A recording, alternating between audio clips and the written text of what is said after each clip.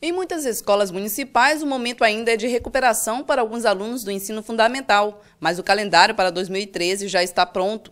De acordo com a Secretaria de Educação, as aulas devem iniciar no dia 16 de janeiro e encerrar no dia 10 de dezembro, nas mais de 200 escolas existentes no município. Quanto mais cedo começa a iniciar as aulas, melhor, porque a gente é, consegue ter um período maior de tempo para o fechamento do próximo ano. Então, é, as aulas iniciarão no dia 16 de janeiro, como está sendo planejado este ano. Datas referentes a recessos escolares comuns, feriados, dias santos e dias escolares para planejamento e formação continuada dos profissionais também constam no documento. Pelo menos 11 feriados foram observados para 2013 durante o período letivo. Sabemos que temos que cumprir 200 dias letivos, né? Então, é, todos os anos é feito esse planejamento para que os alunos tenham é, o seu direito realmente cumprido de acordo com a legislação. Né? A maioria das escolas já fez o processo de renovação de matrículas para os alunos que continuarão no mesmo colégio. O problema é que nem todos os estabelecimentos oferecem os ciclos seguintes e é aí que começa a correria por uma vaga. Mas o secretário explica que não é preciso pânico, os alunos da rede sempre terão prioridade na hora de ocupar a vaga. As escolas, elas inicialmente trabalham na renovação das matrículas, ou seja, aqueles alunos que são pertencentes, aqueles alunos que pertencem às escolas. Só na rede municipal estuda oficialmente 55 mil alunos, segundo a CEMED. No próximo ano, o número de novos alunos deve estar entre 1.500 a 2.000. Nelis Rodrigues explica que a matrícula para os chamados novatos fica a critério de cada escola e o número de vagas também.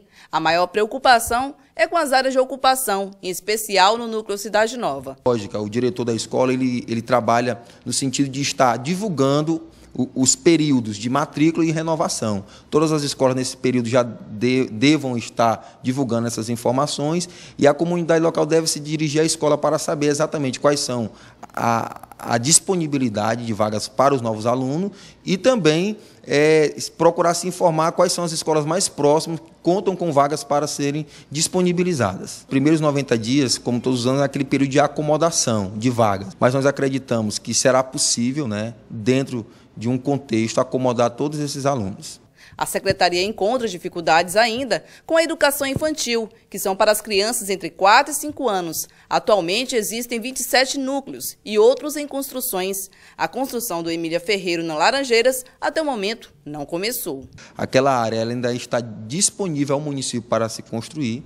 É, o prefeito atual aditivou aquele convênio por mais 180 dias. Então, há uma situação ainda local que precisa ser resolvida em relação a uma pessoa que está ocupando, ainda que irregularmente, para que se inicie a obra. A obra já está licitada há algum tempo, mas há uma situação que ainda precisa ser superada. Eu acredito que isso vai, ser, vai ter que acontecer e no decorrer do próximo ano essa obra deve ser executada. Emília Ferreira continua no mesmo lugar, na Boa Esperança, ou vai mudar de endereço? Não, continua no, no mesmo local. Dizer também, é, a comunidade da Folha 6, que nós temos também um núcleo de educação infantil em processo de finalização. Né? Acredito que será possível o próximo ano já disponibilizar mais de 200 vagas para educação infantil naquela região. Morada Nova também tem um núcleo em processo de construção. Então, assim, pouco a pouco a gente vai superando essas dificuldades.